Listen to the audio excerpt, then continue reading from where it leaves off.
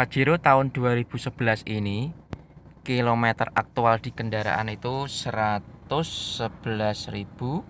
Nah, kadang orang beli mobil itu tergiur atau terkecoh dengan kilometer yang pendek atau kilometer yang kecil. Namun sebenarnya untuk kilometer asli di mobil itu bisa kita lihat di data scan di scan injeksi. Nanti akan kita lihat data scan-nya di kendaraan ini 111. Apakah di scan-nya nanti yang scan ini apakah juga sama 111? Kita lihat langsung kondisinya aktual kilometer by engine SU.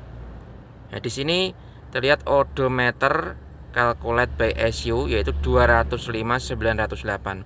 Nah, ini adalah kilometer asli kendaraan ini itu sudah 205 ribu. Padahal di aktual di odometernya ini itu 111 ribu. Nah, ini menandakan bahwa mobil ini itu di reset untuk kilometernya di dashboard ini. Jadi ketika kita membaca dengan data scan ini itu tidak bisa dibohongi bahwa kendaraan ini kilometernya sudah 200 ribu. Jika Anda melihat hal aneh seperti ini bisa segera Anda bawa ke dealer resmi atau bengkel yang punya scan untuk memeriksa kilometer asli dari kendaraan yang Anda baru beli. Misalkan nih, mobilnya kondisinya jelek tapi kilometernya itu rendah, nah itu bisa jadi odometer ini di reset. Kita bisa lihat kilometer asli di scan ini. Nah, ini contohnya.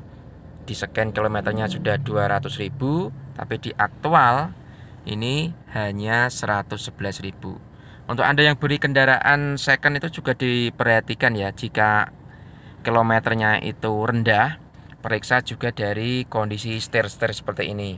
Nah biaya sepertinya biasanya itu kalau dia mobil lama tahun 2009 2011 itu setirnya pasti sudah agak botak. Juga kondisi dari jok-joknya yang sering diduduki itu juga terasa atau terlihat apa ya aus atau botak juga.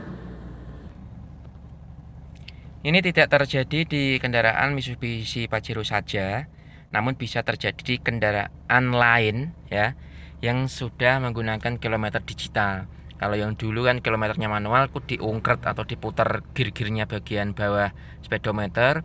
Namun yang digital ini itu juga bisa di reset dengan cara elektrik dengan cara menggunakan scan khusus.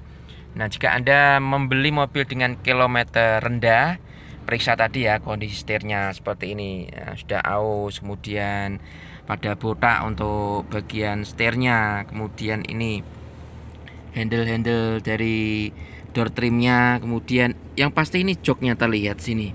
Ya sudah gini. Kalau memang mobil itu kilometernya rendah berarti mobil jarang dipakai. Kalau mobil jarang dipakai jadi untuk setirnya kondisi dari jok itu pasti mulus tidak ada aus atau botak ya. Karena mungkin tangan kita kemudian baju kita mengandung keringat bisa menyebabkan dari untuk kulit atau karet dari setir itu menjadi rusak. Yang lebih penting lagi itu kita harus periksa dari kondisi mesinnya, apakah ada rembesan oli dari karter atau dari seal deck clapnya.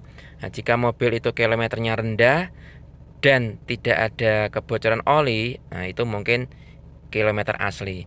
Namun bisa jadi kilometernya rendah namun di mesin itu koprot kabeh koprot semua oli kemudian ada mungkin solarnya rembes semua. Nah itu pasti kilometernya ini itu sudah di reset atau kilometer palsu.